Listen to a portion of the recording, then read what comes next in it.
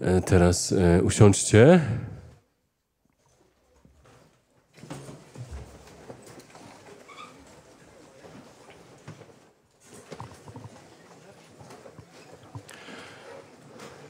E, za chwilę będzie czas na składanie świadectw, dlatego proszę, abyście się przygotowali do tego. Można, to tak, może już na przyszłość napisać świadectwo na kartce, żeby je potem odczytać, albo ktoś napisze, i, a ty odczytasz, bo może ktoś nie, nie, będzie mógł przyjechać, ty, więc będziesz mógł to uczynić w jego imieniu tej osoby. Albo wprost powiedzieć świadectwo. E, wcześniej dobrze jest się chwilę pomodlić, Duchu Święty, daj światło, e, abym powiedział, powiedziała świadectwo, takie, które zbuduje wszystkich słuchających. Więc zawsze świadectwo jest dzieleniem się swoją wiarą, swoim życiem, tym, co Pan uczynił. I chodzi o to przede wszystkim, żeby to było świadectwo związane z naszą wspólnotą, z naszymi spotkaniami, gdziekolwiek nasze spotkania były, albo ktoś może, może doświadczył też uzdrowienia wielu innych łask przez internet, słuchając e, na żywo albo nagrania.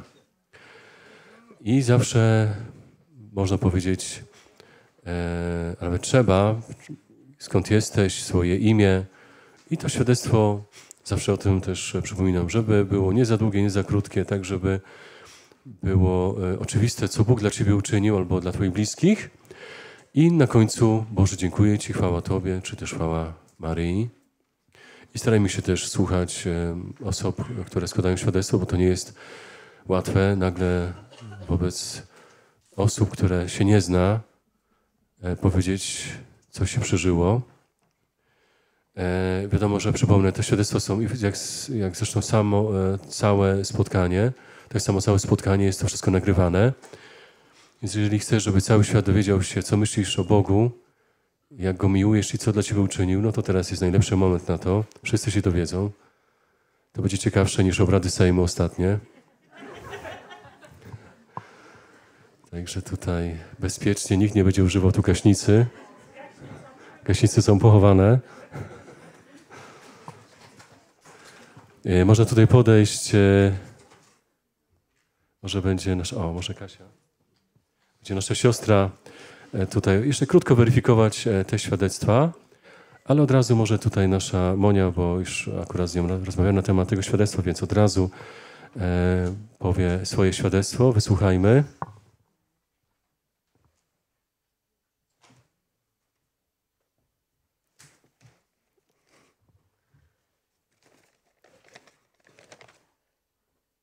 Miłość i miłosierdzie. Mam na imię Monika. Pochodzę, urodziłam się na Podlasiu, obecnie głównie mieszkam w Warszawie. E, chociaż jak wstępowałam do wspólnoty 5 lutego 2022 roku, to wtedy ojciec Daniel powiedział, że Monika i miejsce zamieszkania cały świat, e, dlatego że mam przyjemność pracować na pokładach polskich linii lotniczych LOT e, jako stewardesa. To tak pierwszy raz na spotkaniu wspólnotowym byłam w 2010 roku jeszcze jako nastolatka. E, to było w kościele świętego Józefa w Częstochowie i to było dla mnie też takie bardzo mocne przeżycie, że już wtedy pragnęłam, żeby cała moja rodzina e, również doświadczyła e, tej duchowości, tej głębi wiary, jaką byłam wtedy, jaką wtedy tam przeżywam jako nastolatka. I tak też się stało. Rodzice przyjechali, moja trójka mego rodzeństwa, brat razem z żoną, też byli, więc teraz są tego też owoce. Nawet ostatnio, jak brat miał urodziny, to też tak wspólnie całą rodziną e, modliliśmy też, się też tak na różańcu, klęcząc, też tak mężczyźni też w rodzinie też trzymali różaniec, e, każdy się modlił. Także są piękne owoce spotkania i też tej duchowości, którą właśnie poznaliśmy tutaj i później gdzieś to dalej rozwijając w domu. Bo trudno jest, jeśli e, ktoś z naszych rodzin tutaj nie przyjechał, nie poznał tego, nie doświadczył tej głębi wiary, jaka jest tutaj, żeby później razem w domu e, funkcjonując, żeby rozumieć, e, też nawet w naszych modlitwach, to jak my to przeżywamy. I żyjąc i funkcjonując w świecie, opieram swoją duchowość na nauczaniu ojca Daniela, bo jest przykładem żywej Ewangelii.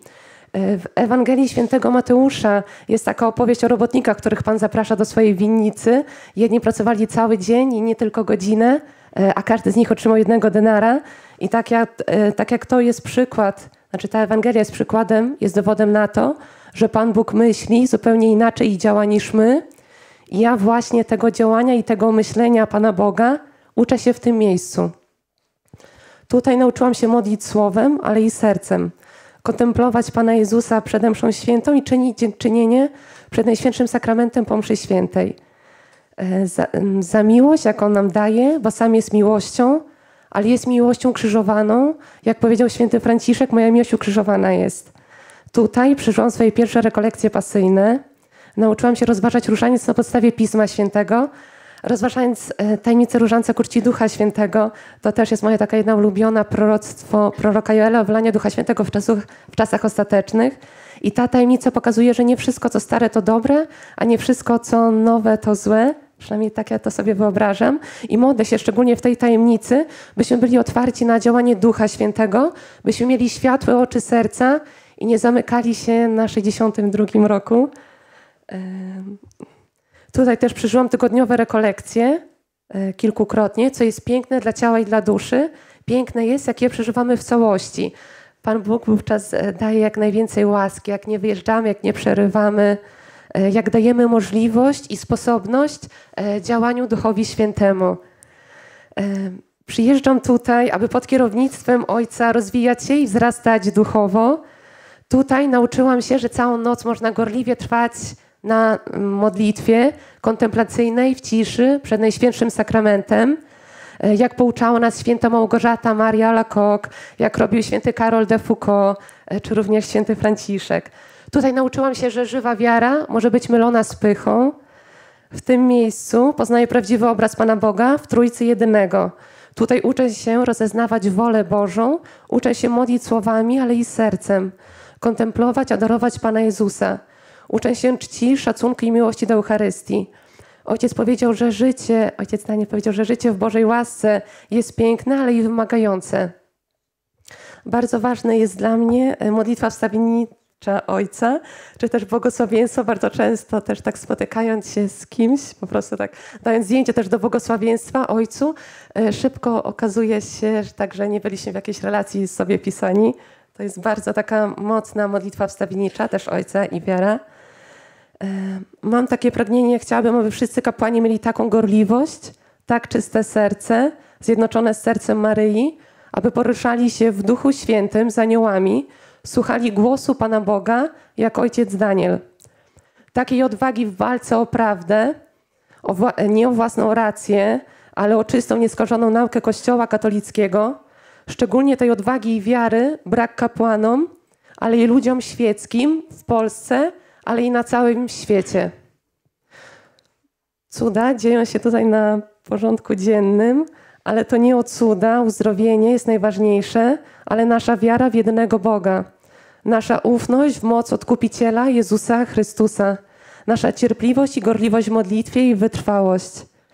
Wiara w Jezusa Chrystusa, na imię którego zagnie się każde kolano istot niebieskich, ziemskich i podziemnych może na początku, jako że nie jestem też taka e, emocjonalna, wylewna, nie wielbiłam Pana Boga tak gorąco, tak nie podnosiłam e, rąk tak, e, tak wysoko, ale też czytając Psalm 63, tam też jest, są takie słowa, tak błogosławię Cię w moim życiu, wzniosę ręce w imię Twoje.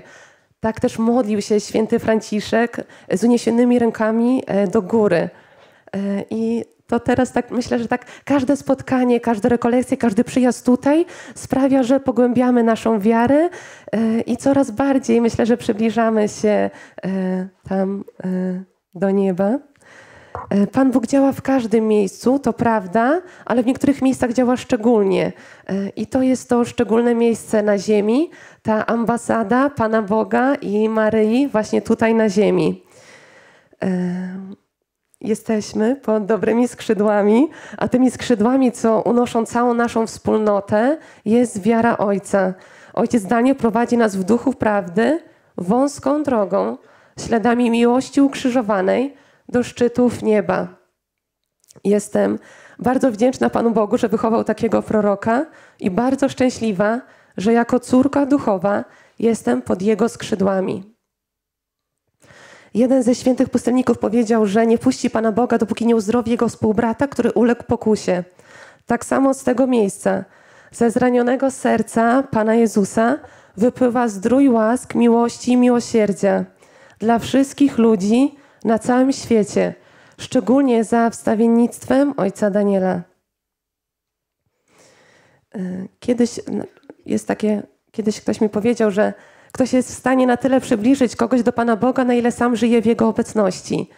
I widzimy na spotkaniach e, też, jaki jest owoc, e, e, jaki jest owoc też wiary Ojca, ile osób tutaj przyjeżdża, ale też, żeby wytrwać we wspólnocie, żeby trwać, myślę, że trzeba zdjąć czarny mistrzowski pas i przyoblec się w biały pas ucznia Jezusa e, Chrystusa, którego przedstawicielem właśnie w tym miejscu e, jest ojciec Daniel.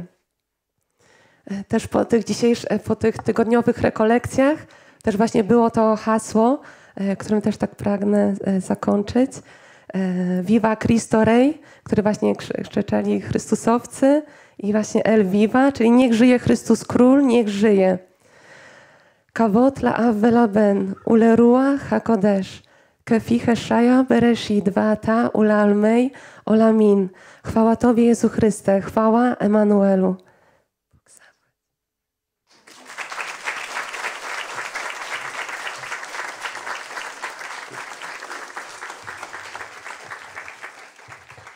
E, bardzo dziękuję naszej Monice ze wspólnoty za to piękne świadectwo. E, prosiłem ją też od pewnego czasu, żeby podzieliła się tym, co przeżyła przez te wszystkie lata, odkąd e, przyjechała pierwszy raz tutaj ze swoimi najbliższymi. I dziękuję za to świadectwo, które sądzę dla wielu młodych, szczególnie dla wielu młodych kobiet, e, będzie e, poruszające i zachęcające do tego, że można tak bardzo kochać Pana Boga, tak jak tutaj widzimy, że Monika zakochała się w Panu Bogu, w Panu Jezusie w Maryi i pragnie swoim życiem, również pracując jako stewardesa, też świadczyć i też e, może nie powiedziała o tym, ale tam gdzie jest, to rzeczywiście najpierw jak wyląduje, to szuka najpierw kościoła, e, szuka gdzie jest e, miejsce modlitwy, gdzie jest możliwość bycia na mszy świętej i to wielu zaskakuje, dziwi, że właśnie młoda kobieta e, tak bardzo właśnie kocha Boga, tak bardzo chce być z Bogiem. E, oprócz tego, że e, właśnie też kiedy lata, no to, to też jest blisko Pana Boga, blisko szefa. Ale też kiedy wyląduje, to też chce być z szefem również tutaj na, na ziemi, kiedy jest tabernakulum, więc to uważam jest świadectwo, które powinni wszyscy wysłuchać, którzy jeszcze nie znają Boga, którzy, szczególnie właśnie młodzi, e, Także zachęcam, żebyście przekazywali młodym czy waszym dzieciom, może nawet wnukom, e, to świadectwo, e, żeby owocem tego było nawrócenie wielu młodych serc. Także bardzo dziękuję Ci, Moniko. Niech Pan Jezus Cię błogosławi, Twoją pracę i też Twoich najbliższych. Amen.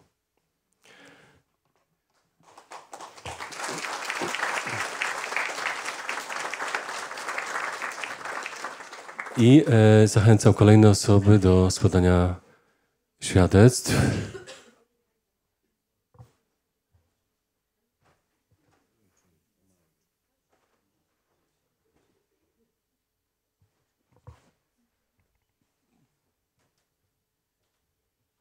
A to będzie jeszcze nasza ze wspólnoty Ula.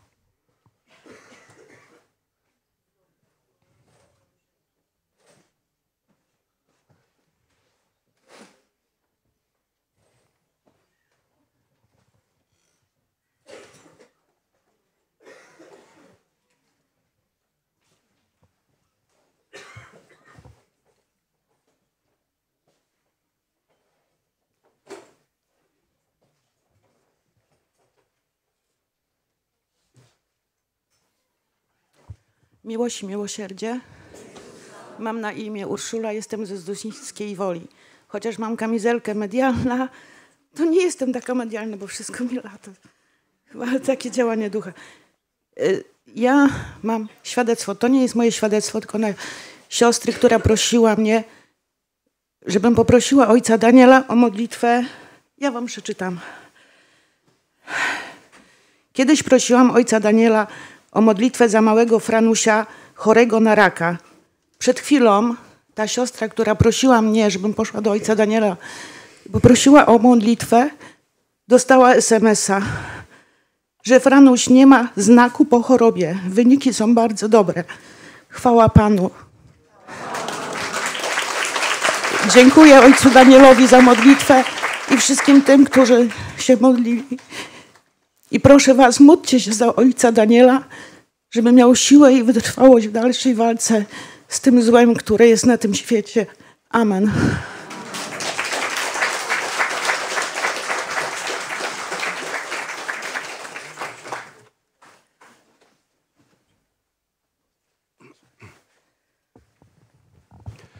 E, Także cieszą właśnie też takie odpowiedzi na naszą wspólną modlitwę, bo tutaj nie chodzi tylko o moją modlitwę, ale modlitwę wielu serc, wielu ludzi, którzy modlą się i, i ze wspólnoty, i nie tylko.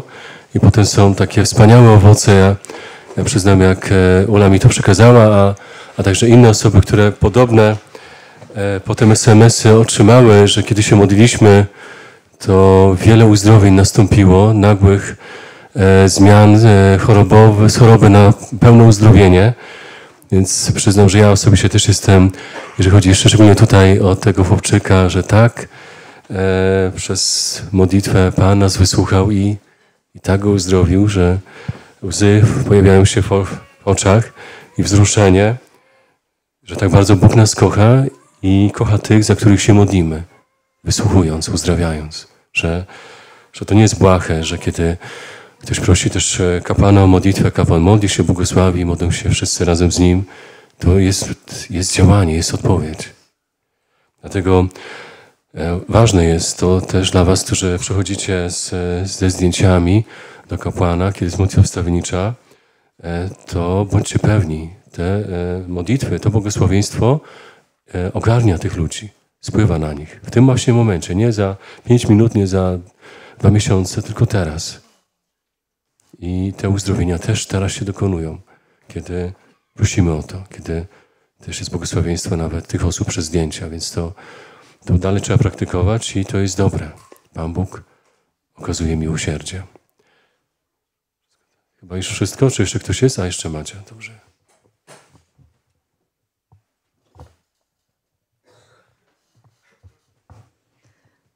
Miłość i miłosierdzie Jezusa.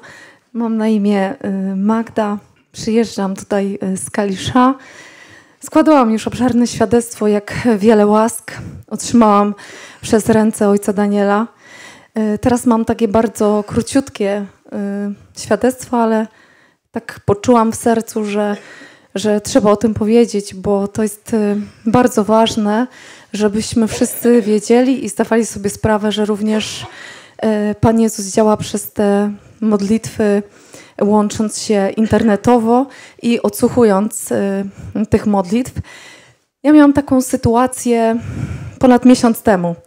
Po takim dosyć intensywnym czasie, burzliwym, e, gdzie było dużo, dużo emocji, dużo stresu. Obudziłam się pewnego ranka z bardzo silnym bólem w klatce piersiowej. No i troszeczkę się y, przestraszyłam. Byłam wówczas sama, akurat y, męża nie było, był na tygodniowym wyjeździe służbowym. Y, Ten, y, ten ból był dosyć silny, więc zeszłam y, wziąć jakieś tam krople i tak dalej. On się utrzymywał. No więc pomyślałam, że mm, pewnie pojadę gdzieś tam do apteki, kupię jakiś magnes, no bo trochę kawy, dużo stresu i tak dalej. No i rzeczywiście tak zrobiłam, pojechałam. Wracając z tej apteki, dokładnie ze sklepu zielarskiego, nawet nie z apteki, e, będąc e, precyzyjnym, e, była godzina około 15 i mówię sobie, włączę sobie koronkę do Bożego Miłosierdzia razem z Ojcem, pomodlę się wspólnie, bo bardzo dużo modlę się z Ojcem. Więc chwyciłam za telefon, i wiecie, no, odpaliłam YouTube i po prostu zwyczajnie powiedziałam e, koronka do Bożego Miłosierdzia, Ojciec Daniel. To jest takie jedno z moich wielu haseł. I załączyła się koronka do Bożego Miłosierdzia. I tak jadąc tym autem, razem z Ojcem tą koronkę do Bożego Miłosierdzia e, odmawiałam. I wyobraźcie sobie, że na koniec tej koronki są takie słowa poznania, że Jezus teraz leczy serca ludzi, duchowo leczy serca, ale także fizycznie. E, ci, którzy mają e, ucisk w klatce piersiowej, arytmię i różnego innego rodzaju bóle w klatce piersiowej. I tak naprawdę w jednym momencie ból odszedł. Chwała Panu.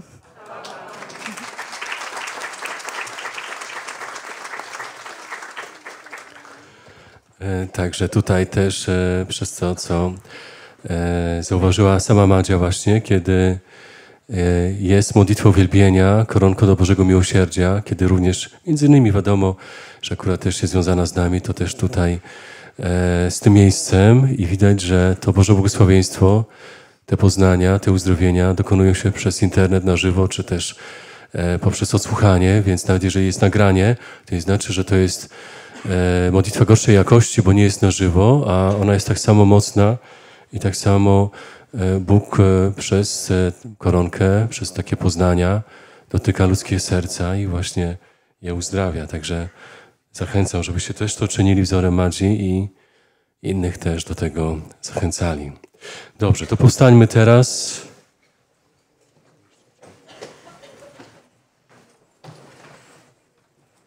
I e, jeszcze będzie krótkie słowo prorocze tutaj z naszej diakonii proroczej. Takie, także wysłuchajmy już na stojąco, bo za chwilę będzie modlitwa o uwolnienie od wszelkiego zła i modlitwa o uzdrowienie duszy i ciała, o wylanie Ducha Świętego i posłanie nas na misję nowej ewangelizacji.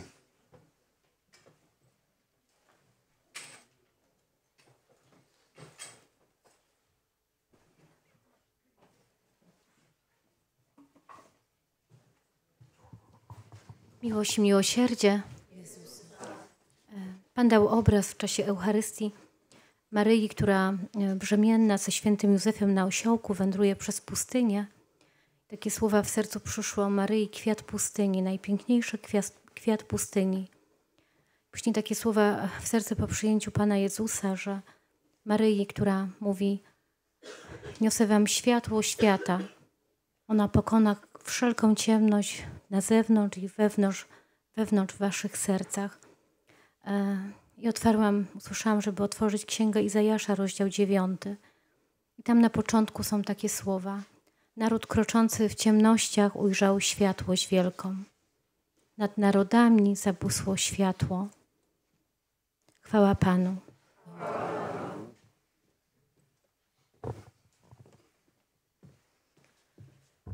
Na początku naszego spotkania Pan dał obraz Maryi, która trzymała w ręku białą stułę, stułę kapłańską wykończonymi krzyżykami. Przyszły takie słowa i myśli, że niektórzy kapłani pogubili się, pogubili się i żyją życiem doczesnym, zamiast życiem niebiańskim, gdzie pokora, gdzie ubóstwo, gdzie walka, gdzie zaparcie się samego siebie. I słowa z księgi Daniela, księga pierwsza, werset dwunasty. Poddaj sługi Twoje dziesięciodniowej próbie. Niech nam dają jarzyny do jedzenia i wodę do picia. Wtedy zobaczysz, jak my wyglądamy, a jak wyglądają młodzieńcy jedzący potrawy królewskie. I postąpisz ze swoimi sługami według tego, co zobaczysz. Przystał na to żądanie i poddał ich dziesięciodniowej próbie. A po upływie dziesięciu dni wygląd ich był lepszy i zdrowszy niż innych młodzieńców, którzy spożywali potrawy królewskie. I werset 17. Bóg zaś dał tym czterem młodzieńcom wiedzę, umiejętność i wszelkiego, yy, i wszelkiego pisma, umiejętność wszelkiego pisma oraz mądrość. Chwała Panu.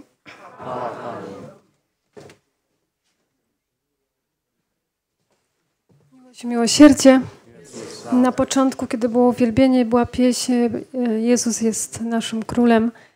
Y, pojawił się tutaj z prawej strony ołtarza Pan Jezus, który swoją ręką błogosławił nas wszystkich. I takie słowa z księgi Zajasza. że Pan jest sam, jedynym Bogiem. Ja jestem Bogiem. Wciąż od wieczności jestem ten sam. I nikt się nie wymknie z mej ręki. Któż może zmienić to, co ja zdziałam? Chwała Panu.